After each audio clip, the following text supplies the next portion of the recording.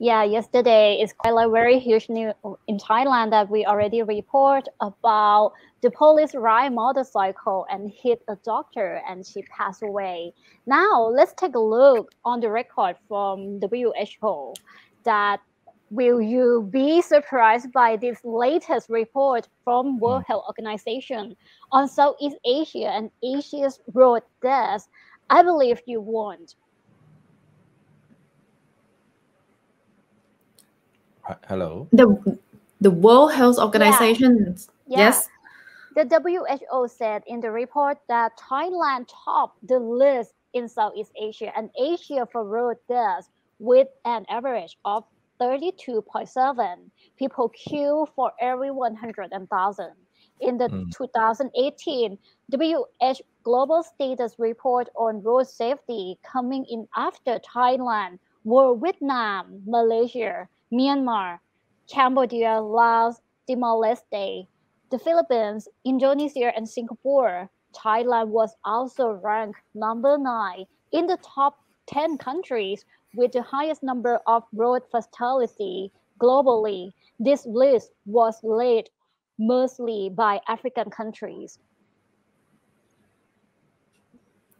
So, in a report published in 2019, the Thai Health Promotion Foundation's Road Safety Center said pedestrians are the most vulnerable. The digital government the Digital Government Development Agency showed that between 2014 and 2017, Thailand has seen more some 20,000 road fatalities and 740 of them were pedestrians.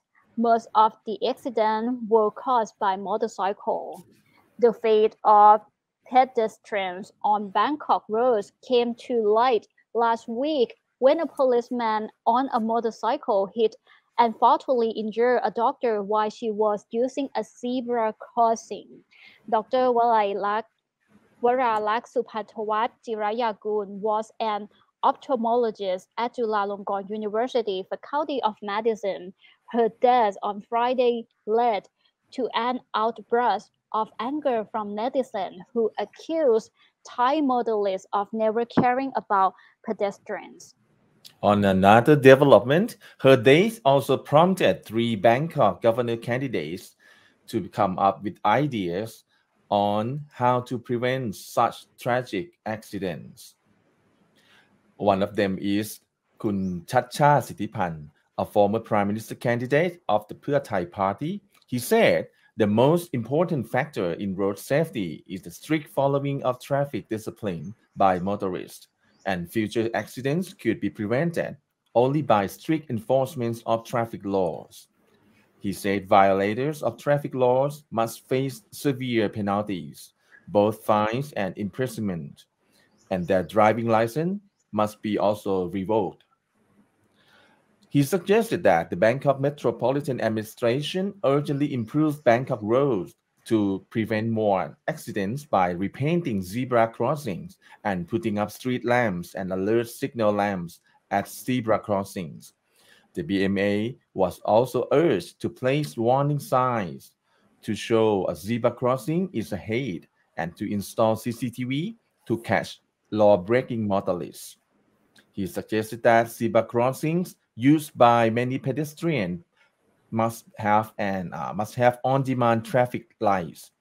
Another candidate is Kun Suchatvee Suwansawat who has announced he would contest in Bangkok election under the Democrat Party banner. He offers three proposals to make Bangkok roads safe. First, a road accident must not be allowed to fade from public attention like major cases in the past. Secondly, the people can and communities must send representatives to inspect the safety of sidewalks and zebra crossings in their community. Thirdly, young kids must be instilled with the right attitude towards road safety and traffic law discipline from the time they are in the kindergarten. The last candidate is คุณวิโรธลักษณาอดิศร Yeah, here we go. Who has now he would run as a candidate of the Move Forward Party. He said the Bangkok Metropolitan Administration must improve some 4,000 zebra crossings around the capital. He also pointed out traffic lights and CCTV for speed checking should be installed at zebra crossings. Roads should be painted with patterns to warn motorists to slow down before they reach the crossings. Motorists must be reminded to give priority to pedestrians at zebra crossings. That's it all from the three candidates that he shared the ideas and what to, to do with the, the accident. We got a lot of accident while walking, Mhm. right? So moving up from the road and safety, Kunina, want to add something?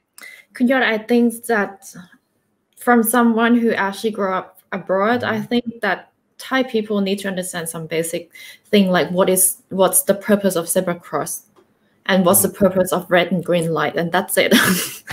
and that will help Right. the that, that life to much be easier. right. That seemed to be basic things, but it seemed that's too difficult for us to understand for the people to use the Well, they gotta understand the sign first. right, right, right. Okay.